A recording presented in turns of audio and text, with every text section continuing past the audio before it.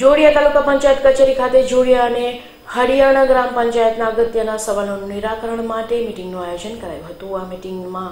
અધ્યક્ષસ્થાને જામનગર જિલ્લા પંચાયતના પ્રમુખ ગરમસિંહભાઈ ચનિયારા અને જિલ્લા પંચાયતના નાયબ વિકાસ અધિકારી શ્રી તર પરમાર જોડિયા તાલુકા વિકાસ અધિકારી कुमारी माधुरीબેન પટેલ કનશમભાઈ राठौड़ उपस्थित રહ્યા હતા અહેવાલ પરેશ અનડકટ જોડિયા